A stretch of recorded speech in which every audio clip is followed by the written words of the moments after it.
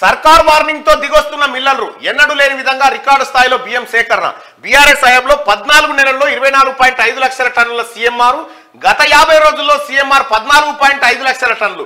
ఒకే రోజు యాభై ఆరు వేల టన్నుల బియ్యం ఇచ్చిన మిల్లర్లు. చూసిరా.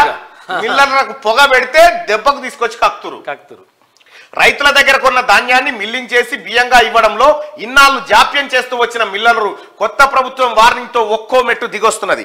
గత బీఆర్ఎస్ సర్కార్ ఉదాసీనత వల్ల పద్నాలుగు నెలల్లో సివిల్ సప్లైస్కు ఇరవై నాలుగు పాయింట్ ఐదు లక్షల టన్నుల సీఎంఆర్ ఇచ్చిన మిల్లర్లు కొత్త సర్కార్ చర్యలతో యాభై రోజుల్లోనే పద్నాలుగు పాయింట్ ఐదు లక్షల టన్నుల సీఎంఆర్ అప్పగించారు. ఈ నెల ఇరవై ఏడున సివిల్ సప్లై చరిత్రలోనే అత్యధికంగా యాభై ఆరు వేల ఎనిమిది వందల నలభై మూడు టన్నుల సీఎంఆర్ సేకరించడం గమనార్హం.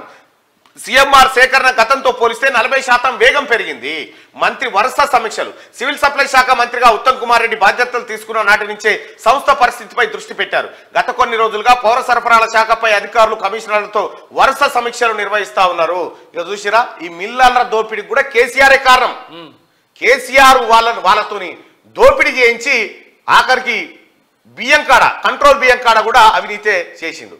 దాంతో ఇప్పుడు ఇప్పుడున్నటువంటి మంత్రి ఉత్తమ్ కుమార్ రెడ్డి గారు సివిల్ సప్లై ఈ దొంగలకు గన్ను పెడితే దెబ్బకు తెచ్చి కక్తా ఉన్నారట.